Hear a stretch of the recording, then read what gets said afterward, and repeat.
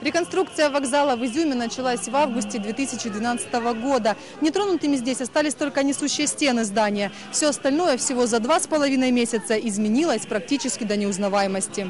До реконструкции такого подразделения, как вокзал «Изюм», не существовало. Был пассажирский цех при станции, где работало 8 билетных кассиров.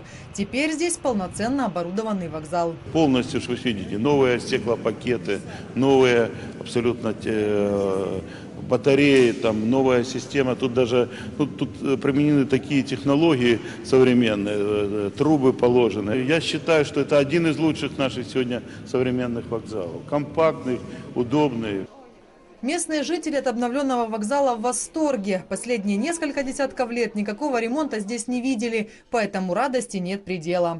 Мені вокзал дуже сподобався. Справді очікування ну не можна навіть ніяких слів сказати, тому що люди наскільки красиво це все зробили, наскільки зі смаком продумали про дітей, про жінок, продумали кожну деталь.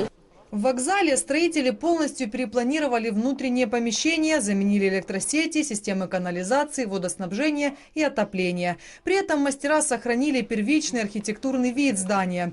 Во всех помещениях установили новые светильники и мебель. В зале повышенной комфортности работает Wi-Fi. Люди могут посмотреть телевизор, удобные кресла, столики, Wi-Fi, интернет, в общем, все условия. Подзарядить э, мобильные телефоны, воспользоваться интернетом.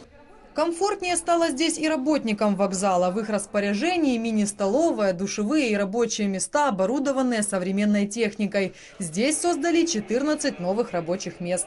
Очень комфортно. Новые кресла, новая мебель, новые санузлы, новое оборудование, техника, шторы, жалюзи.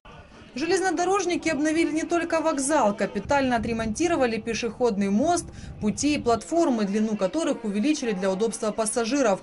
Благоустроена привокзальная территория. На этом работы по реконструкции вокзала в области не заканчиваются. В ближайших планах ЮЖД, говорит Виктор Остапчук, ремонт на станции Казачья Лопань. Юлия Черная, Алексей Калмык, медиагруппа «Объектив».